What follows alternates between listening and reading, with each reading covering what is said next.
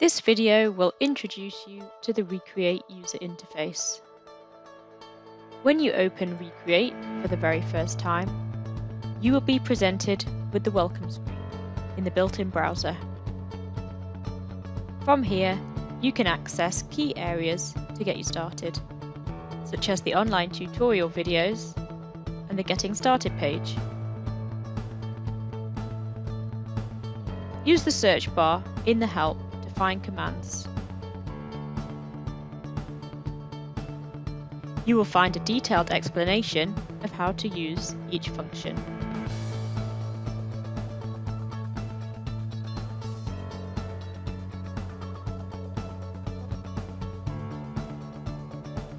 If you don't have access to the internet, switch to local to access the offline help.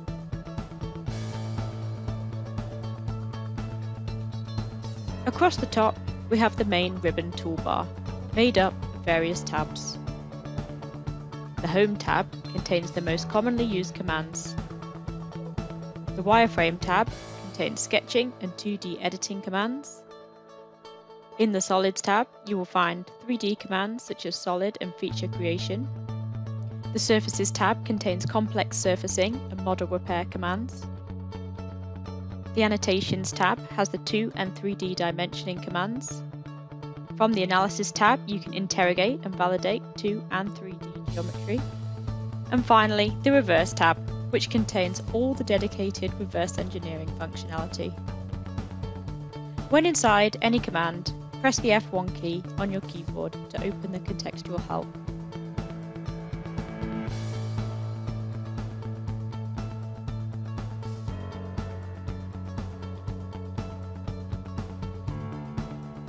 Using the quick search is easy to find any command.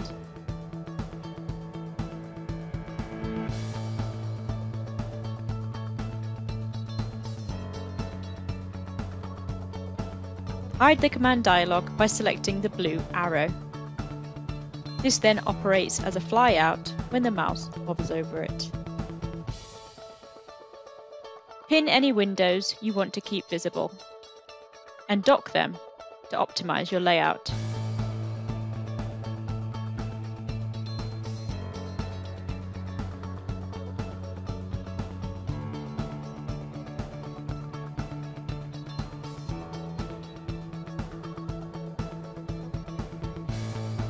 All docking windows can be accessed from the window drop-down.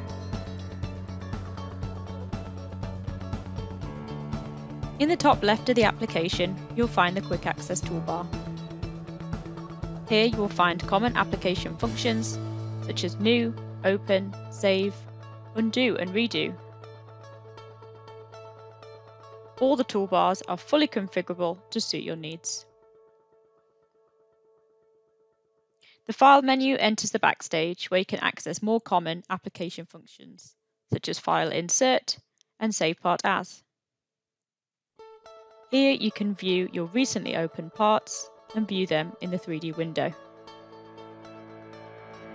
Any parts or folders that are frequently used can be pinned so they stay at the top.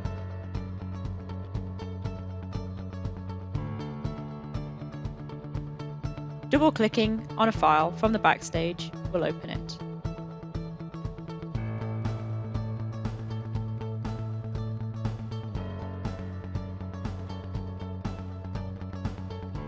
The structure tree can be used to control the visibility of elements.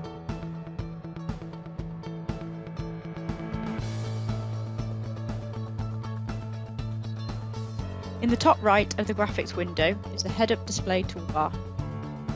You can choose from a variety of shading options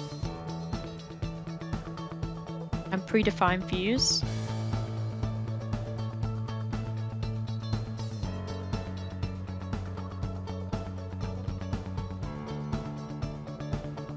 will show the last selected view.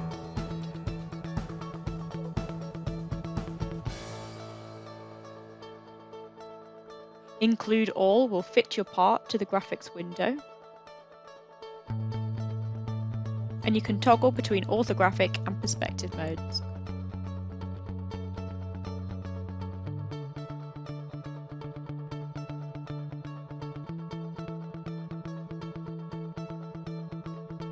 Utilize the bottom toolbar to access regions, selection filters, and the dynamic query. Here we're using the dynamic query to give us information about the size of this mesh. You can activate the crosshair cursor, change the work plane focus, view the units, and also see your X, Y, Z cursor coordinates.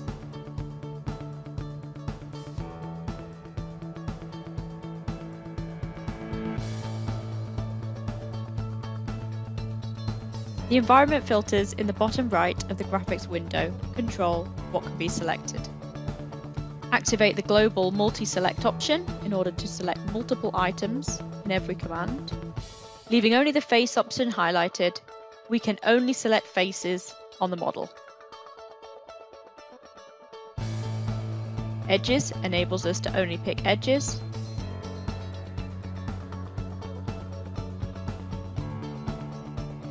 and elements only entire bodies or elements. That concludes this Recreate tutorial.